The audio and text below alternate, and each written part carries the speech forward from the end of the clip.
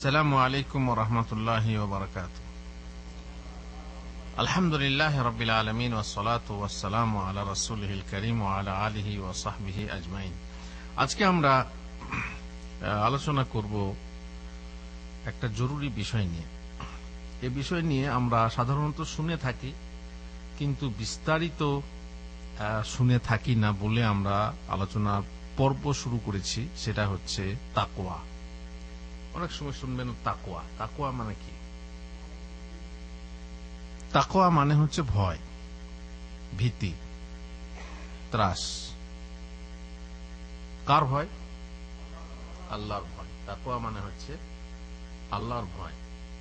তাকোয়ার আর একটা মানে আছে, সাবধান হওয়া। ভয় যেখানেই হয়, সেখানেই সাবধান হওয়া যায়, তাই? সতর্ক হওয়া।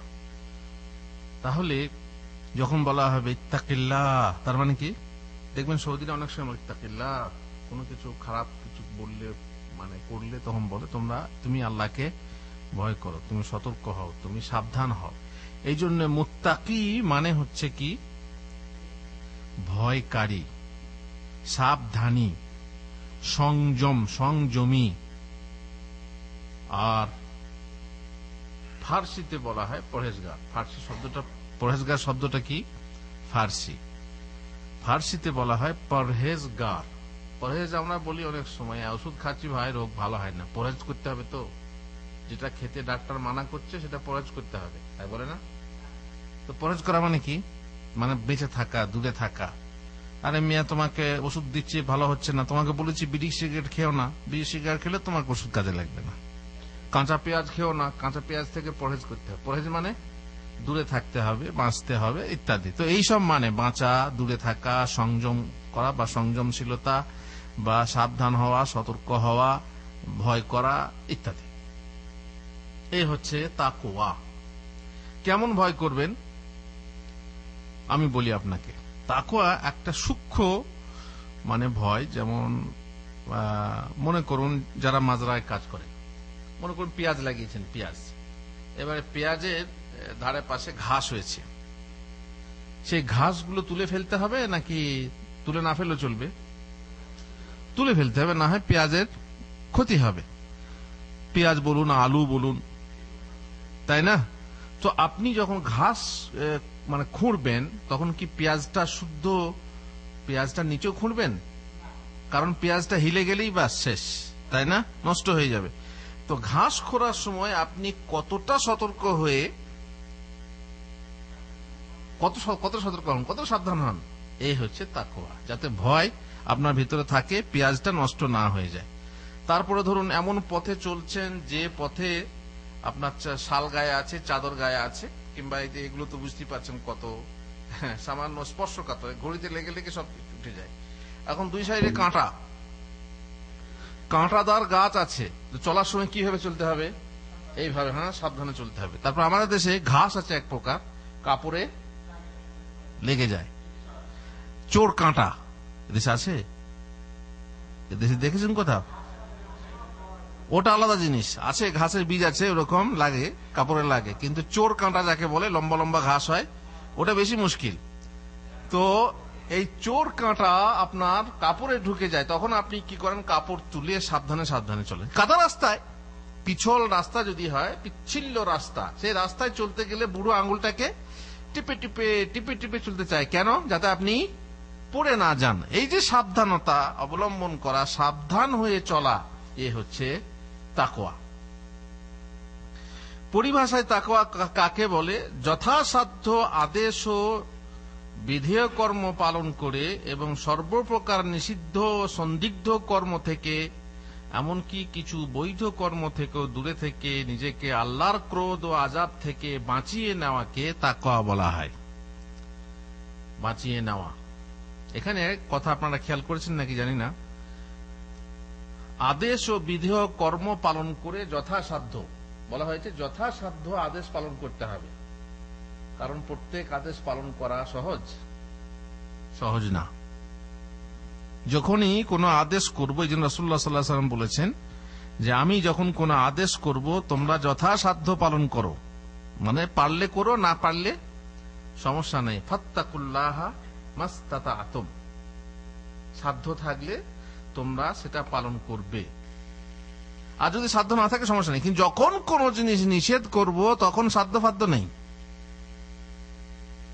যদি বলা হয়, মদ খেও না হ্যাঁ হুজুর, পারলে খাব না, তাই বলা হবে? যদি বলা হয়, সুদ খেও না, সাধ্য হলে এরকম সাধ্য কি ব্যাপার আছে? যদি বলা হয়, শুয়োর খেও না, এখানে সাবধানতা কিছু আছে? সাধ্য মতো কিছুই না। এখানে যখন আমি নিষেধ করব, তখন খবরদার সেটা করবে না। এই জন্য বলা হয়েছে, আদেশ ও বিধেয় কর্ম যথাসাধ্য পালন করে এবং সর্বপ্রকার নিষিদ্ধ সন্দিগ্ধ কর্ম থেকে একদম বিরত হয়ে মানে একদম সে কাছে যাওয়া যাবে না এমন কি নিষিদ্ধ বস্তু এবং সন্দিগ্ধ বস্তু? সন্দিগ্ধ বস্তু মানে? এটা খাব। জানি এটা হালাল না হারাম? ও হুজুরকে জিজ্ঞেস কেউ বলেছে হালাল, কেউ বলেছে হারাম। হলো? সন্দেহ এসে গেল? রাসুল্লাহ সাল্লাম বলেছেন হালাল উবাইনুন ওয়াল হারাম উবাইন হালাল স্পষ্ট হারাম স্পষ্ট। হাদিসে বলা হয়েছে, কোরআনে বলা হয়েছে।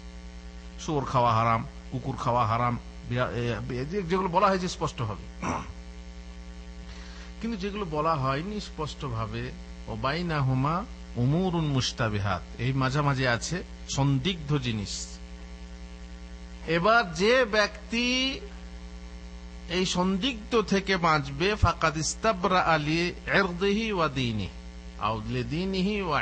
যে ব্যক্তি সন্দিগ্ধ জিনিস থেকে বাঁচবে, সে নিজের দিন বাঁচিয়ে নেবে, ইজ্জত বাঁচিয়ে নেবে।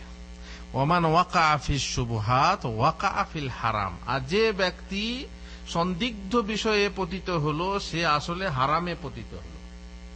কেন? শিওর নয়। হতে পারে।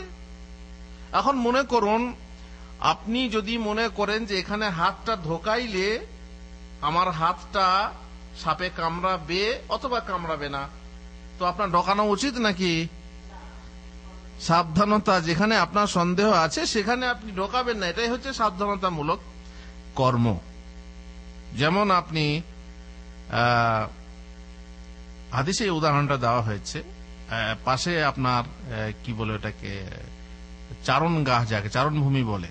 তার মানে যেখানে গরু চড়ানো বা ছাগল চড়ানোর জন্য ক্ষেত থাকে, সেই ক্ষেতের পাশে যদি আপনি ছাগল চড়ান, গরু চড়ান, তো এমন হতে পারে যে আপনার গরু চড়ার জায়গায় চড়তে চড়তে গিয়ে ফসল খেয়ে ফেলবে। এমন কাজ আপনি করবেন না, যে কাজ করার ফলে আপনি খারাপ কাজে পড়তে পারেন। যেমন, কক্সবাজারের সমুদ্র তীরে, হুজুর যাওয়া চলবে?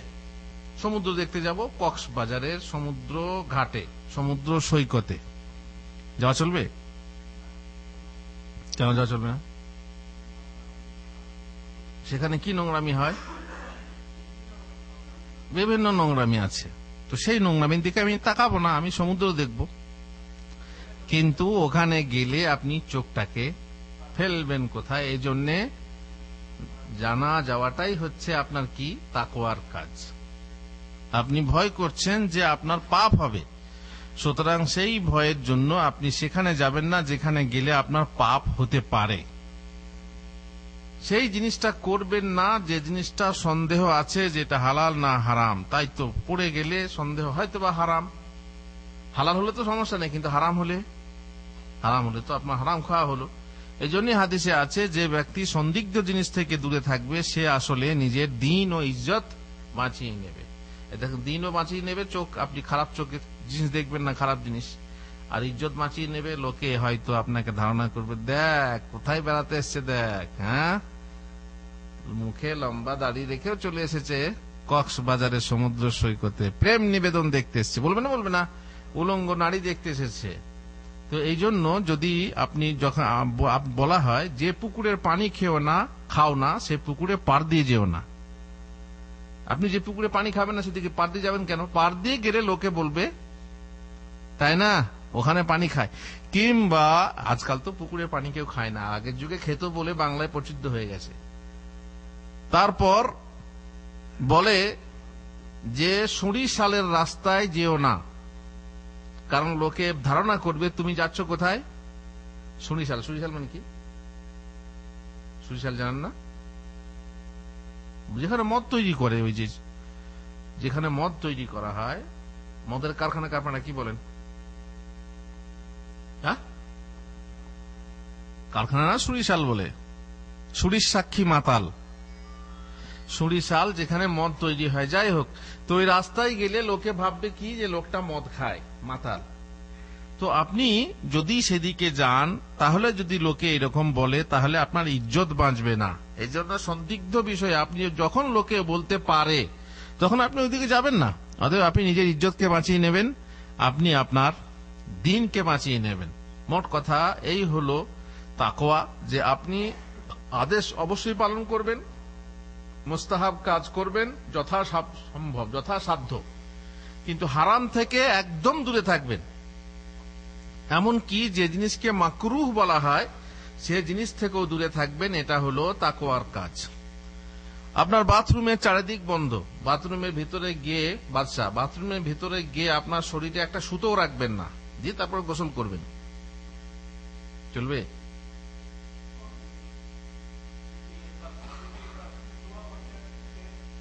যদি?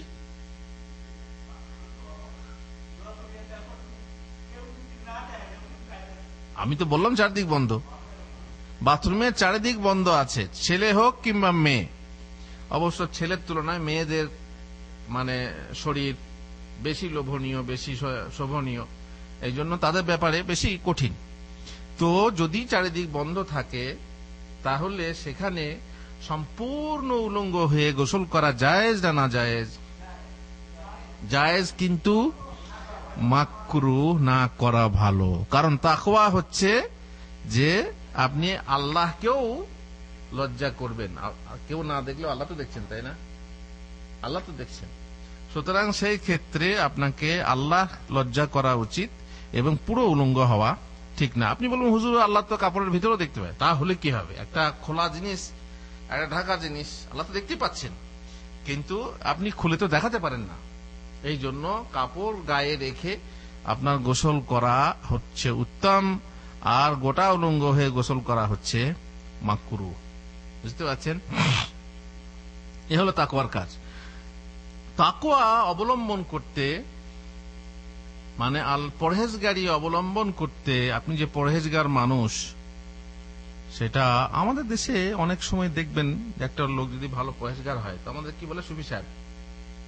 বলে সুফি সাহেব? সুফি সাহেব বলে। সুফি সাহেব বলা ঠিক? সুফি সাহেব কথাটা ঠিক না ভুল? সুফি সাহেব কথাটা একদম ভুল। কারণ সুফি হচ্ছে মানে সুফিবাদ যাকে বলে, সুফিবাদের দিনই আলাদা, তাদের মজাবি আলাদা। তারা ইসলামের অনেক ক্ষতি করে। তারা তৌহিদবাদী না, সুফিবাদী তৌহিদবাদী না অতএব কাউকে পরহেজগার দেখলেই পরহেজগারকে সুফি বা সুফি সাহেব বলা, বা ও সুফি সাপা লোক, ভালো লোক, পরহেজগার লোক, না, সুফি সাপা বলা যাবে না। সুফি বলাই যাবে না। সুফি হচ্ছে অন্য এক মজাব। তারা হচ্ছে তৌহিদ বিরোধী। সুতরাং সুফি সাহেব না। পরহেজগার লোক বলা যাবে। এই পরহেজগার লোক যে দেখবেন আপনার পাঁচ অক্টের নামাজ পড়বে না পড়বে না, পরহেজগার? পরহেজগার যাকে বলা হয় সে পাঁচ অক্টের নামাজ পড়বে। দাঁড়িয়ে থাকবে না থাকবে না। নাকি দাড়ি দাড়ি না থাকবে পরহেজগার বলা হবে? না, বলা যাবে না। তাহাজুদের নামাজ পড়বে পরহেজগার। তাহলে সুন্নত পড়বে না পড়বে না? অবশ্যই পড়বে। তাহাজুদ গোজার লোক, এ হচ্ছে পরহেজগার লোক। নফল রোজা রাখছে। তার রমজানের রোজা রাখবে না রাখবে না? অবশ্যই রাখবে। এ হচ্ছে পরহেজগার লোক। কোন মহিলা দেখলে মাথা নিচু করে নেয়, তাকায় না। এ হচ্ছে পরহেজগার লোক। তার গাঁটের নিচে কাপড় যায় না। এ হচ্ছে পরহেজগার লোক। এইভাবে যত রকমের নিষেধ আছে, আদেশ আছে, পালন করে, যথাসাধ্য চেষ্টা করে আল্লাহর আজাদ থেকে নিজেকে বাঁচিয়ে নেয়, এ হচ্ছে মুত্তাকি আর এ হচ্ছে পরহেজগার কোরআন মাজিদের বহু জায়গাতেই মুমিনকে তাকওয়া অবলম্বন করার আদেশ দেওয়া হয়েছে। যেমন, আদেশ দেওয়া হয়েছিল এর পূর্ববর্তী মানে আমাদের এই মুসলিম জাতির পূর্বেও সমস্ত জাতিকে, আর সব জাতি মুসলিম ছিল, আহলে কিতাবদেরকেও এই তাকুয়া অবলম্বন করতে আদেশ দেওয়া হয়েছিল। কোরআনে আল্লাহ তালা বলেছেন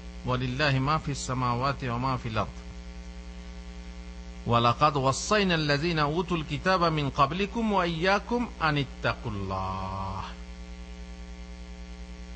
আসমান, জমিনের সমস্ত কিছু কার? আল্লাহর জন্য। আর আমি অবশ্যই ওসিয়ত করেছি। ওসিয়ত করা মানে হচ্ছে বিশেষ উপদেশ দেওয়া। ওসিয়ত করা মানে হচ্ছে মানে মনে, বাবা আমি মারা যাচ্ছি গো, অমক অমক লোকটাকে দেখো। এটা খাস ওসিয়ত। আমি মারা যাব গো, আমার যেন অমক হুজুর জানাজা পড়ে। এটা কি? ওসিয়ত। এগুলো পালন করা জরুরি। যেটা ওসিয়ত করা যায়, সেটা পালন করা জরুরি।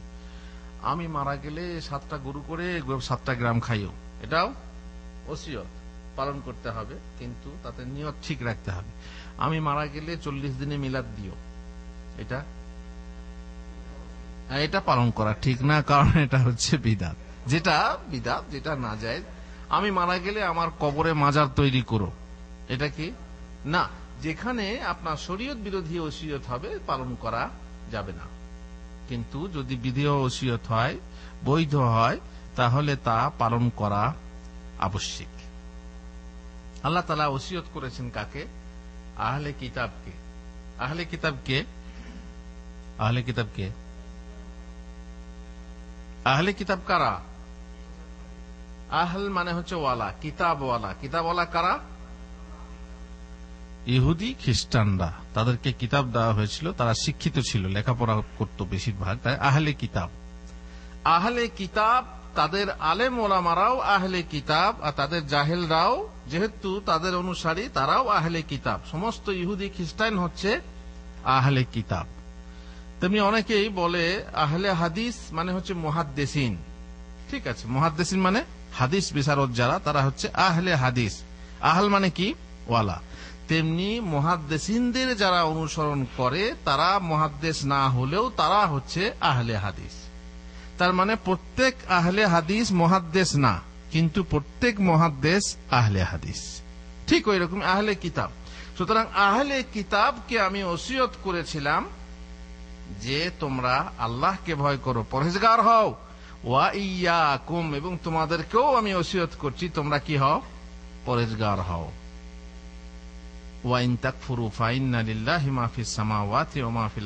শুরুতে আবার আল্লাহ বলছেন, যদি তোমরা কাফের হয়ে যাও, অমান্য করো, অস্বীকার করো, তাহলে জেনে রেখো, আসমান, জমিনে যা কিছু আছে, সবকিছু কার?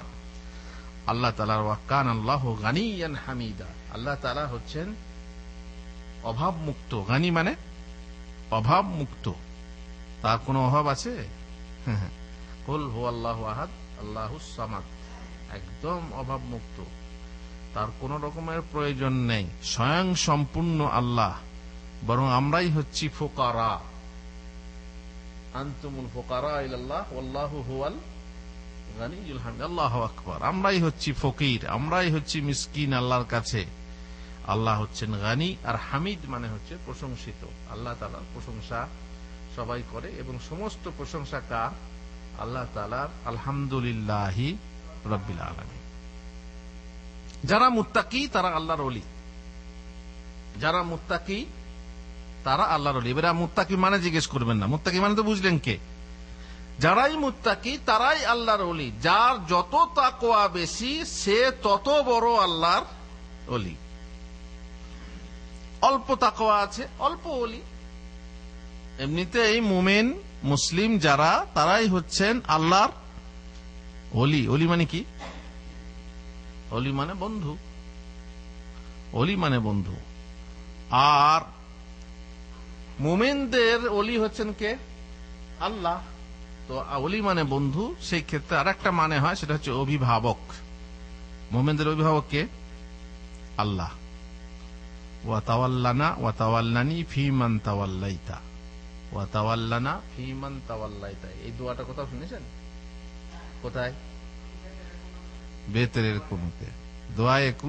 আল্লাহ, তুমি আমার অভিভাবকত্ব করো। ওদের মতো যাদের অভিভাবকত্ব তুমি করেছ।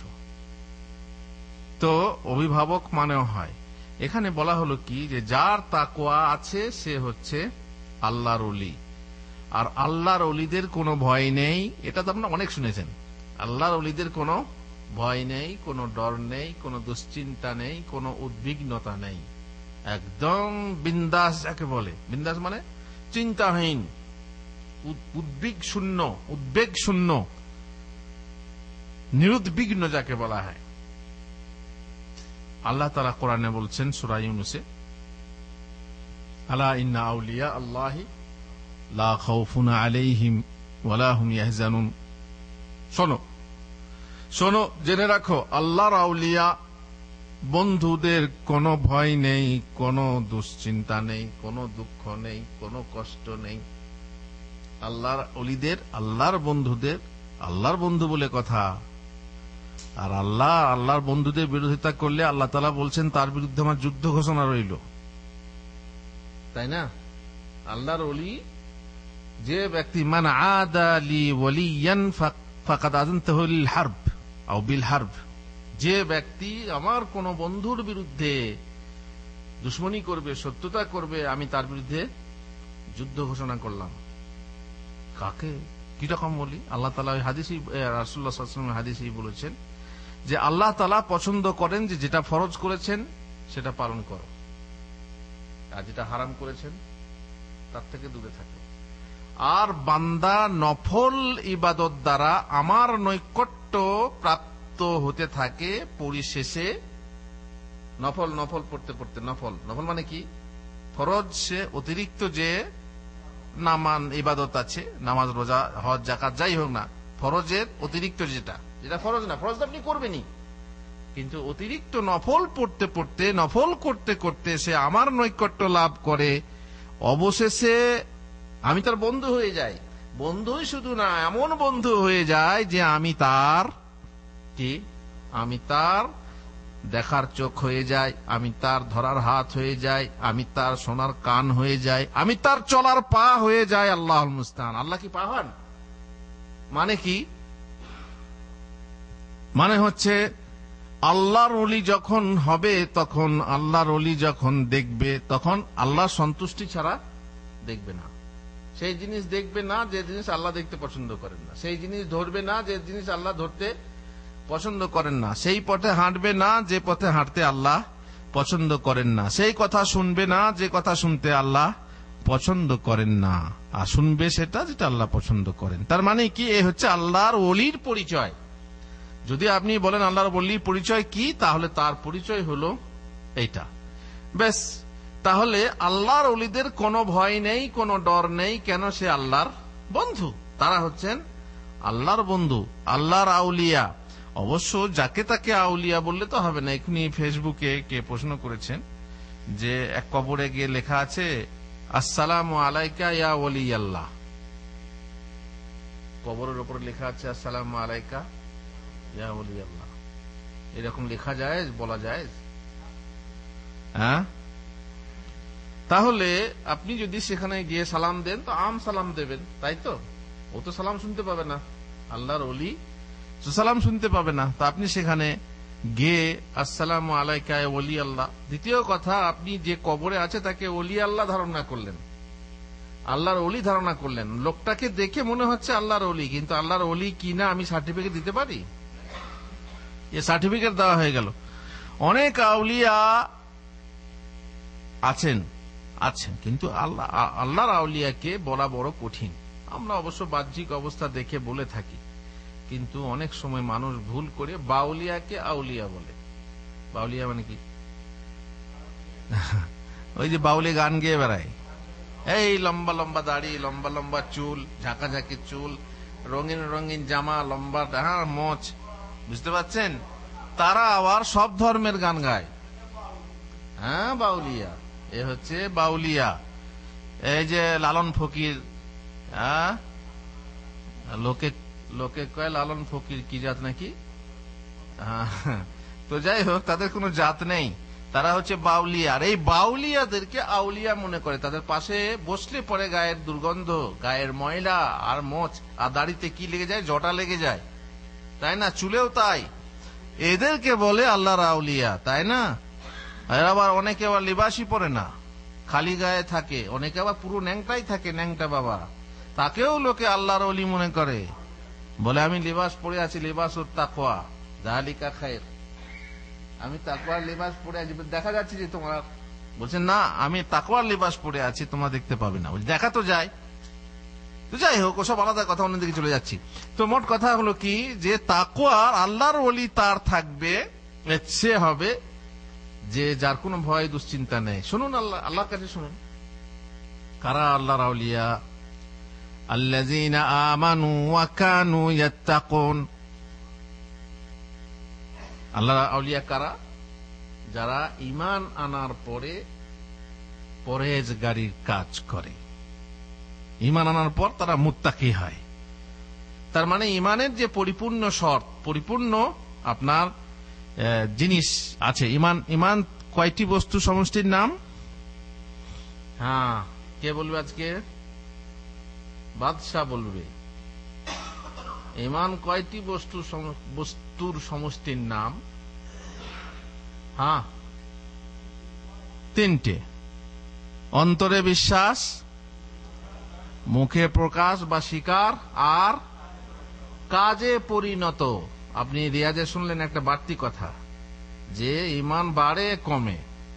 সেটা ওই কাজেরই কাজেরই ফল, প্রতিফল, কাজেরই একটা রেজাল্ট কাজ করলে আপনার ইমান বাড়বে, কাজ না করলে ইমান কমবে। ভালো কাজ করলে ইমান বাড়বে, খারাপ কাজ করলে ইমান কমে যাবে। এ হচ্ছে ইমান তো ইমান যে আপনার তার মানেই হচ্ছে যে মোমেন হলেই হবে না, শুধু বিশ্বাস হলে হবে না। আপনার সব আছে, কাজও আছে, বিশ্বাসও আছে শেখারও আছে, সবকিছুই আছে। আর সেই সাথে আপনি আর একটা বাড়তি কাজ, সেটা কি? মুত্তাকি, পরহেজগার। আর তার মানেই বললাম যে আপনি মাকরুহ কাজও করেন না, সন্দিগ্ধ কাজও যান না, আর নফল কাজ বেশি বেশি করে করেন। আপনি হচ্ছেন কি? মুত্তাকি। আর তারাই হচ্ছে আউলিয়া, যাদের কোনো দুশ্চিন্তা নেই, যাদের কোনো ভয় নেই। সুতরাং যারা মুত্তাকি হবে, তারা হবে আল্লাহর আউলিয়া। তাকোয়া মুমিনের শ্রেষ্ঠ সম্বল। তাকোয়া মুমিনের শ্রেষ্ঠ সম্বল। আল্লাহ তারা বলছেন, ওয়াতাজাওয়াদু ফাইন্না খাইরাজ জাদিত তাকওয়া ওয়াত্তাকুনি ইয়া উলিল তোমরা পাথেয় সংগ্রহ করো, আর তাকোয়াই হচ্ছে শ্রেষ্ঠ পাথেয়। এটা কোন জায়গায় বলা হয় জানেন? হজ করতে যাওয়ার জন্য, হজের কথাই বলতে বলতে আল্লাহ তালা বলেছেন, ওয়াতাজাওয়াদু, তোমরা পাথেয় সংগ্রহ করো। পাথেয় কাকে বলে? পাথেয় কাকে বলে? পাথেয়, পথে যা দরকার হয়, সেটা সঙ্গে নেওয়া, আর সেটা, সেটাই দরকার হয় যেটা, সেটাই হলো পাথেয়। তো পথে যেতে আপনার টাকা পয়সার দরকার, পথে যেতে আপনার খাবারের দরকার টাকা পয়সা থাকলেই খাবার পাওয়া যাবে। তার মানে আপনার টাকা পয়সা নেওয়া হচ্ছে পাথেয় সংগ্রহ করা। আর যদি সঙ্গে কিছুই না থাকে, তো সঙ্গে পথ আছে, পথ চলছেন, কিন্তু আপনার পাথেও নেই। এই জন্য বলছে, যার পাথেও নেই, তার জন্য হজ ফরজ না। পাথেও সংগ্রহ করতে বলা হয়েছে। পাথেও যে সংগ্রহ করবে, তো পাথেও সংগ্রহ করার মধ্যে সব থেকে শ্রেষ্ঠ পাথেও কোনটা? আল্লাহর তাকোয়া পথে চলবে, পথে তোমার টাকা থাকবে ঠিকই, কিন্তু আল্লাহর তাকোয়া আল্লাহর ভয় তোমার ভিতরে থাকতে হবে।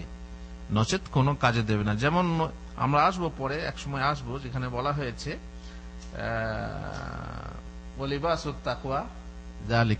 তোমরা লিবাস পরো।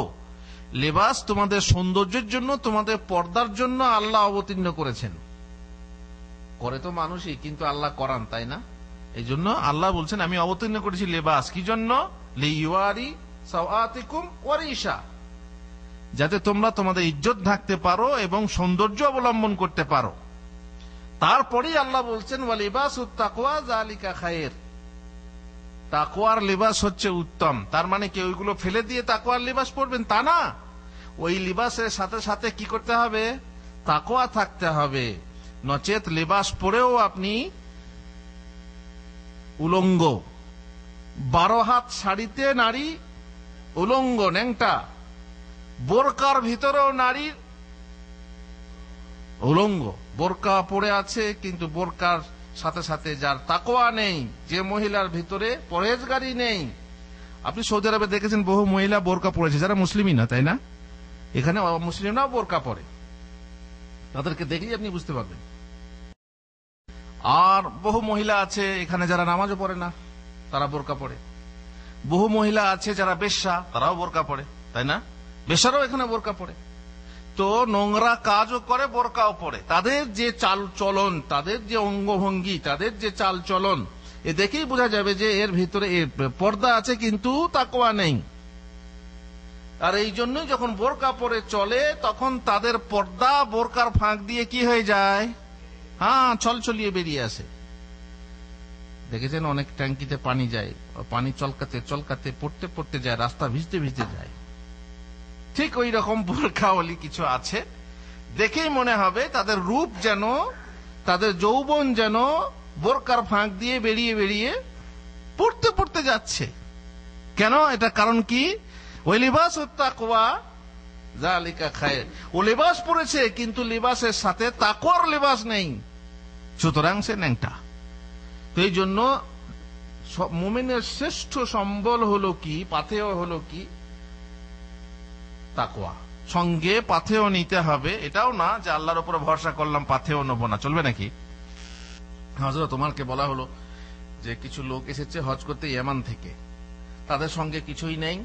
তারা নাকি মোতাওয়াক্কিলু না আল্লাহ তারা আল্লাহর উপরে ভরসা করে এসেছে। আল্লাহর উপর ভরসা করে যাওয়া যাবে? কোথাও কোনো আল্লাহর পথে যদি যান, জেহাদে যান, যেখানেই যান, তো আল্লাহর পথে হজ করতে যান, কিছু টাকা পয়সা নিলেন না আল্লাহ ভরসা, আল্লাহ খাওয়াবে। এটা ঠিক? ইসলাম আপনাকে এই বলে? না। ইসলাম বলে তোমরা পাথেও সংগ্রহ করো। হজরত তোমারকে বলা হলো বললেন, ওরা মোতাওয়াক্কিলুন না, ওরা হচ্ছে মোতাকিলুন ওরা লোকের কাছে মেগে খাওয়ার পার্টি। ওরা আল্লাহর উপরে ভরসাকারী পার্টি নয়। তার মানে কি? কি তো খেতে তো হবে। অনেক সময় পাবে না, তখন হাত হাত পাতবে। অথচ আমি বলছি আমরা হচ্ছে আল্লাহ আল্লাহর উপর ভরসা করি যারা দরবেশ এই যারা দরবেশ, যারা বলে যে আমাদের কাজ করতে হয় না। বলে না বলে না। বলে আমাদের বংশে আমাদেরকে কাজ করতে হয় না, আমাদেরকে চাষ করতে হয় না, আমাদেরকে এইভাবেই পাঁচটা মানুষের আল্লাহ খাওয়ায় আল্লাহ খাওয়ায়। তো আল্লাহ যে খাওয়ায় সবসময় আল্লাহ কি ঘরে বসে খাওয়াবেন? না। শরীয়তের নিয়ম হলো যে তুমি আল্লাহর উপরে ভরসা করো, কিন্তু সেই সঙ্গে কি করো? কাজ করো। তুমি সাবধানতা অবলম্বন করো। তুমি সঙ্গে পাথেও নাও, তারপরে আল্লাহর উপরে ভরসা করো। উট বাঁধো, তারপরে আল্লাহর উপরে ভরসা করো। ভগবান তরাও, ভগবান তখন বলবে, হাত পা তো নড়াও। পানিতে ভেসে গেছেন বানে। দিয়ে ভাসছেন আপনি, হাত পাচ্ছেন না, হাত পা নড়াতে হবে, তবে না ভগবান তরাবে তো যাই হোক কথা হলো কি যে শ্রেষ্ঠ সম্বল হলো, শ্রেষ্ঠ পাথেয় হলো তাকোয়া আর তার মানে এই নয় যে আপনার বাহ্যিক যে পাথেয় আছে, টাকা, পয়সা ইত্যাদি সঙ্গে নেওয়া যাবে না, খাদ্য নেওয়া যাবে না, নেওয়ার দরকার নেই, এরকম কথা না। এইগুলো নেওয়ার সাথে সাথে আপনার শ্রেষ্ঠ পাথেয় হলো তাকোয়া আপনি সঙ্গে নেবেন, তাহলে ইনশাল্লাহ যেখানেই যাবেন সেখানেই ভালো হবে। আপনার সাফল্য লাভ হবে। যে যত বড় পরহেজগার, সে আল্লাহর নিকট তত বড় মর্যাদা সম্পন্ন। যেমন আগে বলা হলো, সে তত বড় আল্লাহর ওলি। আল্লাহ তালা বলছেন, ইন্না আকরামাকুম মানুষের মধ্যে সবচেয়ে উচ্চ বংশের মানুষ, সবচেয়ে সম্মানী মানুষ, সবচেয়ে মর্যাদা সম্পন্ন মানুষ, সবচেয়ে সম্ভ্রান্ত মানুষ কে আপনি বলবেন অমক বংশের অমক বংশের, তমক বংশের। কিন্তু সব থেকে শ্রেষ্ঠ বংশ হলো ইসলাম। সব থেকে শ্রেষ্ঠ কুলীনতা হলো তাকুয়া মুত্তাকি। যেহেতু আল্লাহ তালা বলছেন, ইন্না ইন্দাল্লাহি আতকাকুম। আল্লাহর নিকট সবচেয়ে শ্রেষ্ঠ ব্যক্তি, সবচেয়ে মর্যাদা সম্পন্ন ব্যক্তি, সবচেয়ে সম্ভ্রান্ত ব্যক্তি সেই যে আল্লাহর কাছে সবচেয়ে বেশি পরেজগার ইন্না আকরামাকুম ইন্দাল্লাহি আতকাকুম। মহান আল্লাহ, পরহেজগার মানুষদের সাথী, আল্লাহ আকবর। আল্লাহ যদি আপনার সাথী হয়, তাহলে কি অবস্থা হবে? চিন্তা করে দেখুন। ভয় করো না, খোকন সোনা ভয়কে করো জয়। আল্লাহ যাদের সাথের সাথী, নাই কো তাদের ভয়। ভয়। আল্লাহ যাদের সাথের সাথী কোরআনের অনেক জায়গাতে বলা হয়েছে আল্লাহ তালা অমুকের সাথী অমুকের সাথী, যেমন ধৈর্যশীলদের সাথী। আল্লাহ মাস তেমনি মাল মুত্তাকিন। আল্লাহ তালা মুত্তাকিদের সাথের সাথী। আচ্ছা সাথের সাথী বলতে তো আপনারা তো অনেক রকম বোঝেন যে যেমন এখন যদি বাসার নিজের বাসায় যায়, সঙ্গে বাদশাহ গেল, তো বলব কি যে বাস- বাদশার সাথে সাথীকে আবুল বাসার ঠিক কিনা যখন বলা হবে আল্লাহ সাথের সাথী তার মানে কি আল্লাহ সত্তা সহ আপনার সাথে থাকবেন? না আল্লাহ তো আছেন আরসের উপরে। তাহলে আল্লাহর সাহায্য সহযোগিতা এলেম দৃষ্টি রহমত আপনার সাথে সাথে হবে। আল্লাহ আকবর। রব্বানা ওয়াসিতা কুল্লা শাইইন ইলমা। ইলমা ইলমের দিক থেকে তার ইলম চারিদিকে ছড়িয়ে আছে। আর ওয়াসিআত কুল্লা শাইইন আহ, কি বলে আপনার? তার মানে আল্লাহর রহমত প্রত্যেক জিনিসে আছে। তার মানে রহমত তোমার সাথে থাকবে। তাহলে এ হচ্ছে আল্লাহর সাথে সাথে। যেমন বলা হয়, বাসার তুমি এত রাতে কি করে যাবে? অন্ধকার। না, হুজুর, আকাশে চাঁদ আছে। চাঁদ আছে আমার সাথে। চলবো আমি পথে পথে নাই কোক আমার ভয় তার মানে চাঁদের আলো আপনার সাথে আছে। চাঁদ আছে কোথায়? আচ্ছা, চাঁদ তো আপনার সাথে সাথী হলো না। চাঁদ আছে আসমানে কিন্তু আপনি বললেন চাঁদ আমার সাথে আছে চলার সমস্যা নাই। তো এরকমই যখন আল্লাহ আপনার সাথে সাথী হবেন তার মানে কি আল্লাহ আপনাকে সাহায্য করবেন আল্লাহ আপনাকে আপনার প্রতি দয়া করবেন আল্লাহ আপনার হেফাজত করবেন ইত্যাদি ইত্যাদি। আল্লাহ তালা বলছেন মোত্তাকুল্লাহ আলামু আন্নাল্লাহ মাল মুত্তাকি তোমরা আল্লাহকে ভয় করো আর জেনে রেখো যে আল্লাহ হচ্ছেন মুত্তাকিনদের সঙ্গী। আল্লাহ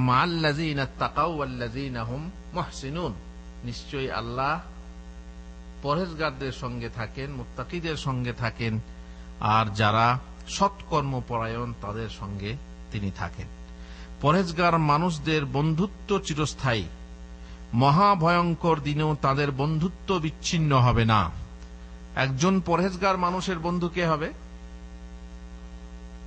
পরহেজগারই হবে, তাই না? পরহেজগার মানুষ কোনোদিন ওই আপনার হ্যাংলা ব্যাংলা ট্যাংলা এসব এদের সঙ্গে তো বন্ধুত্ব করতে যাবে না। পরহেজগার পরহেজগারের বন্ধু হবে।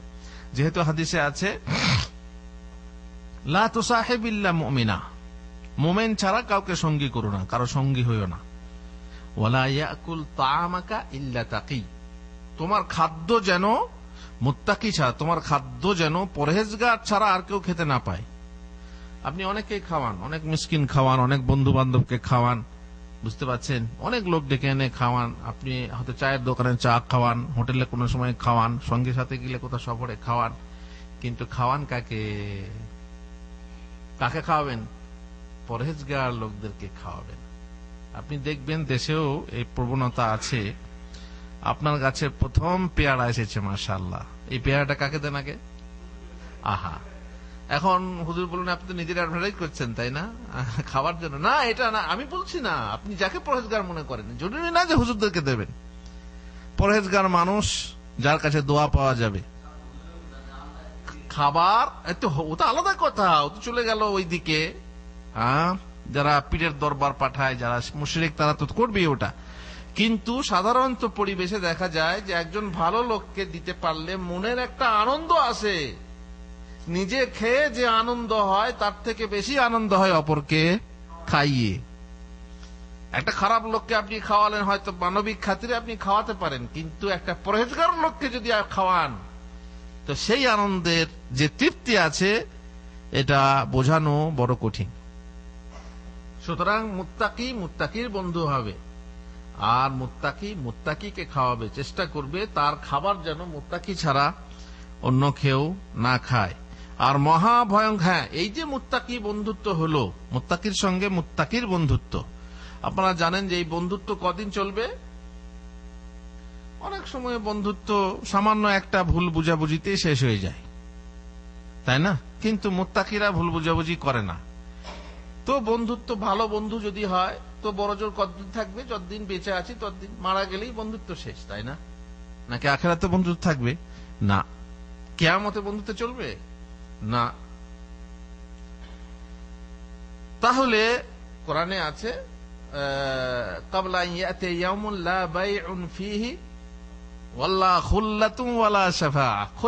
দেখেন। যে সেই দিন আসার পূর্বে সাবধান হও, সেই দিন আসার পূর্বে রেডি হয়ে যাও। কোন দিন? যেদিনে কোনো ব্যবসা বাণিজ্য নেই টাকা পয়সার বিনিময়ে কিছু করা যাবে, কিছু হ্যাঁ বাঁচা যাবে, উপায় নেই। ওলা খুল্লাতুন বন্ধুত্ব নেই যে বন্ধুত্ব, বন্ধু তোমাকে বাঁচাবে, এটারও উপায় নেই। ওলা সাফা, আ, সুপারিশও নেই যে যে কেউ তোমার সুপারিশ করে তোমাকে জান্নাতে পৌঁছে দেবে। সেখানে সেদিনে বন্ধুত্ব নেই। কিন্তু এক শ্রেণির মানুষের বন্ধুত্ব কেয়ামতেও থাকবে। কারা তারা? আল্লাহ বলছেন আল্লাহ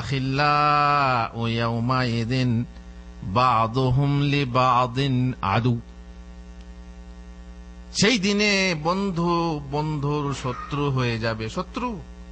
বন্ধু শত্রু হয়ে যাবে। আপনি দুনিয়াতেই দেখেন, দুনিয়াতে আপনার বন্ধু আছে, সবই আছে।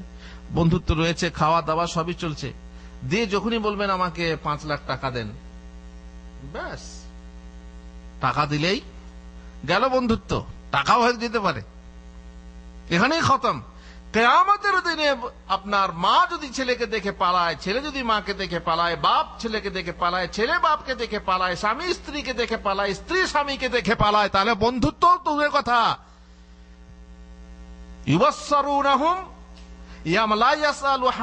হামিমা। কোন বন্ধু তার বন্ধুকে জিজ্ঞেস করবে না, বন্ধু, কাইফাল হাল? হাউ আর ইউ কেমন চলছে তোমার? এই কিয়ামতের মাঠে কেমন কষ্ট হচ্ছে এটা জিজ্ঞাসাও করবে না। ইউবাসসারুনাহুম, চোখের সামনে থাকবে। কিন্তু না, চাইবে আমার বিনিময়ে যদি আমি আমার বন্ধুকে দিয়ে জান্নাতে যেতে চাই চলো। না, আমার বন্ধুকে না, আমি, আমার বন্ধু ছিল, আমার স্ত্রীকে আমি দিচ্ছি। আমাকে আজাদ থেকে বাঁচাও আল্লাহ। আমার ছেলেকে আমি দিচ্ছি জাহান নামে যাক, কিন্তু আমি বাঁচবো। এইরকম অবস্থা হবে কোথায়?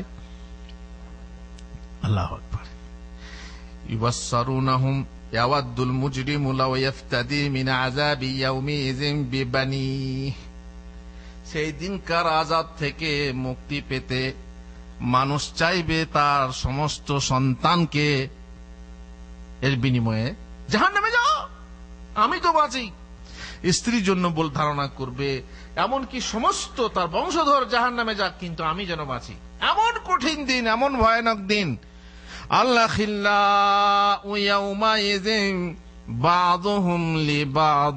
আদু। বন্ধুরা, শত্রুতে পরিণত হবে ইল্লাল মুত্তাকিন। তবে মুত্তাকিরা নয়, পরহেজগাররা নয়, তাদের বন্ধুত্ব বিচ্ছিন্ন হবে না। তারা ঠিক নিজেদের বন্ধুত্ব রেখে নেবে, কিন্তু সমস্যা কি, তারা কি একে অপরের সাহায্য করবে? সে কথা বলা হয়নি। বন্ধুত্ব টিকে থাকবে। কেয়ামতের মাঠে এই বন্ধুত্ব টিকে থাকবে এই কথা জানানোর উদ্দেশ্য। সংযমশীল মানুষ সফল কাম হয়। মুত্তাকি পরেজগার লোক সফল কাম হয়। সফল কাম মানে? মানে সফল হওয়া। মানে কোন একটা উদ্দেশ্য আপনার সফল হলো আপনার স্বপ্ন বাস্তবায়ন হলো, হে, আপনি কোন একটা কাজে ভালো লাভবান হলেন, তাই না? একে সফল। আচ্ছা যাচ্ছি তো দেখি। কোথায় যেন ওই ওই বাঁধে মাছ পাওয়া যাচ্ছে। জাল নিয়ে বের হলেন। আপনার নিশ্চয়তা আছে, মাছ পাবেন কিনা গেলেন, মাছ পেয়ে গেলেন। তা আপনি কি হলেন? সফল হলেন। ফল থেকে সফল। গাছ লাগালেন, ফল হওয়ার কোনো গ্যারান্টি নেই। একজন ফেসবুকে দেখলাম, কাঁঠাল গাছ লাগিয়েছে মাসাল্লাহ গাছ ধরেছে। তার মানে সে সফল হয়েছে। স, ফল। ফল সহ। ফল এসে গেছে, সফল হয়ে গেছে। ফল পেলেই সফল। মোত্তাকি লোক, পরহেজগার লোক হবে সফল। এটা জানার কথা। আর সব থেকে বড় সাফল্য, সবচেয়ে মহা সাফল্য কি বলতে পারবেন? জান্নাত লাভ করা। আবার কি চাই? জান্নাত লাভ হলেই আপনার সব থেকে বড় সাফল্য সব থেকে মহা পুরস্কার। মহা সাফল্য, মহান আল্লাহ বলছেন ওমাইয়ুতে ইল্লাহ ওয়া রাসূলাহু ওয়া ইয়াখশাল্লাহ ওয়া ইয়াত্তাকহি। যে ব্যক্তি আল্লাহর আনুগত্য করবে, রাসুলের আনুগত্য করবে, আল্লাহকে ভয় করবে। দেখেন একশাল্লাহ আল্লাহকে ভয় করবে এবং তাকুয়া অবলম্বন করবে। আর তাকুয়া অবলম্বন করলেই তো বাকি সব। তাকুয়া যার থাকবে, সে কি আল্লাহ আনুগত্য করবে না, রাসুলের আনুগত্য করবেন না? কিন্তু আল্লাহ তালা খুলে খুলে বলছেন, আল্লাহর আনুগত্য করবে, রাসুলের আনুগত্য করবে। এখানে কোন ইমামের আনুগত্য কথা বলা হয়নি। এখানে কোন পীরের আনুগত্য কথা, কার কথা বলা হয়েছে? আল্লাহর এবং রাসুলের আনুগত্য করবে। আল্লাহকে ভয় করবে এবং তাকওয়া অবলম্বন করবে ফাউলা ইকা হুমুল ফাইজুন। তাহলে তারাই হবে সফল কাম। তারাই হবে সফল কাম। ওখানে সুরা হাসরে বলা হয়েছে ফায়জিনের কথা। লা আসহাবুল নারী ওয়া আসহাবুল জান্নাহ। আসহাবুল জান্নাতি হুমুল ফাইজুন। দেখেন, জান্নাতি আর জাহান্নামি কি সমান হবে নাকি? না, জান্নাতিরাই হবে সফল কাম। তো এ মুত্তাকি লোক পরেজগার লোক ফাউলাই কাহমুল ফাইজুন, তারাই হবে সফল কাম। তারপরে আমি আর একটা বিষয় বলে শেষ করব, কারণ সময় বোধহয় লম্বা হয়ে যাচ্ছে। আল্লাহ বলছেন, লিল্লাযীনা আহসানু মিনহুম ওদের মধ্যে যে মহসিন হবে এবং ওদের মধ্যে যে মুত্তাকি হবে, মহসেন মানে কি? মহসেন মানে হচ্ছে সৎ কর্ম, সৎ কাজ করা। মহসেন মানে উপকারী। আর মহসিন মানে হচ্ছে যার এহসান আছে। এহসান কাকে বলে? এক এহসান, এহসানই করা যে পরোপকার করা। আর একটা এহসান মানে কি আ? আ, এই এহসান যেটা হচ্ছে আমার দিনের, আমার ইমানের সর্ব, আমার দিনের সর্বোচ্চ পর্যায়, তাই না? ইসলাম, ইমান আর এহসান মহসেন যারা, তারা তাদের জন্য রয়েছে আজরে আজিম, মোত্তাকিদের জন্য রয়েছে মহা পুরস্কার আর সেই সফলতা মহা পুরস্কার হলো আল্লাহর বেহেস্ত আল্লাহ তালা বলেছেন ওরাও আন্না হালাল কিতাবি আমানু ওয়াত্তাকাও লাকাফারনা আনহুম সাইয়্যাতিহিম। যদি আহলে কিতাব আহলে কিতাব সমস্ত মানুষ যে কোনো মানুষ, কিন্তু আহলে কিতাব তাদের কাছে কিতাব আছে, তারা জানে যে একজন নবী আসবেন। আর তার অনুসরণ করতে বলা হয়েছে, কিন্তু তাদের মধ্যে এলেন না বলে খালাস, ও আরবের নবী। তাদের ভিতর থেকে এলে পরে তারা মেনে নিত। তারা জানে, তারা কিতাব পড়েছে, নবী আসবেন আহমদ। নাম সহ জানতো আমার পরে একজন নবী আসবেন, যার নাম হবে আহমদ।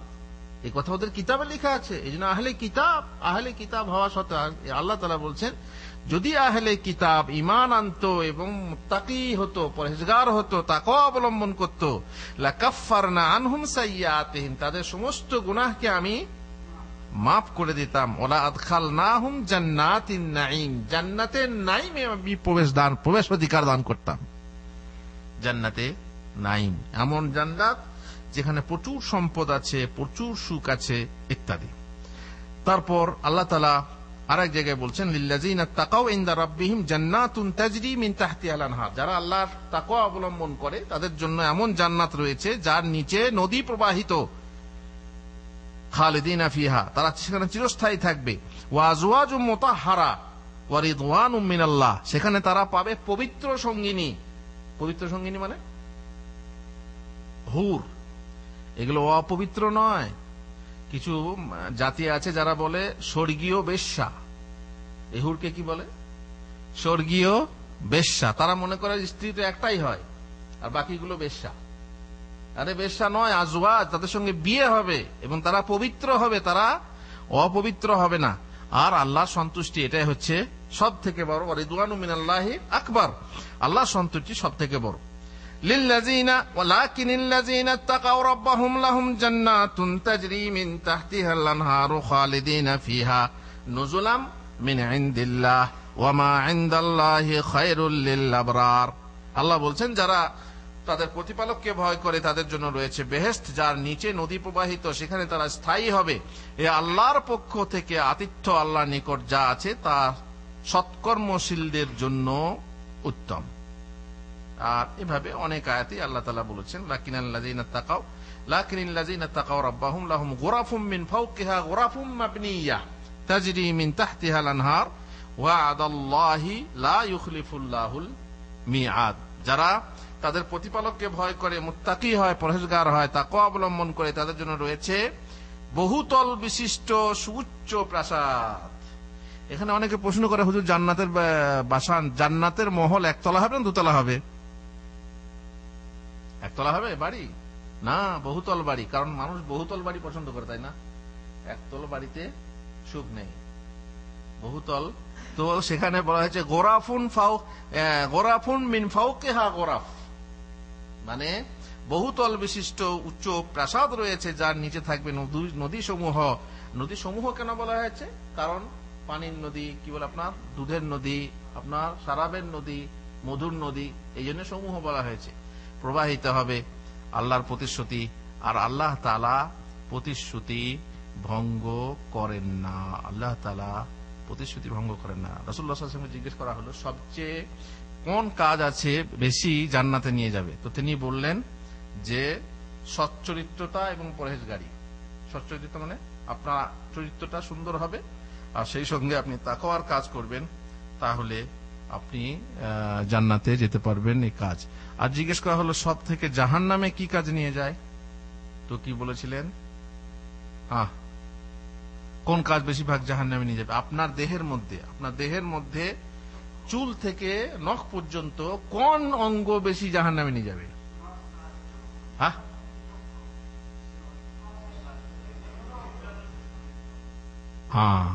মুখ আর যৌনাঙ্গ লজ্জাস্থান। এই দুটো কাজে, এই দুটো অঙ্গের জন্য আপনাকে বেশিরভাগ লোককে জাহান নামে নিয়ে যাবে। আল্লাহ তালা আমাদেরকে তৌফিক দেন, যেন আমরা মুত্তাকি হতে পারি, পরহেজগার হতে পারি, যথাসাধ্য আল্লাহকে ভয় করতে পারি। আল্লাহ আমিন। ওসল্লাহ নবীন মোহাম্মদ ওয়াল আলহি ওসাহি আজমাইন।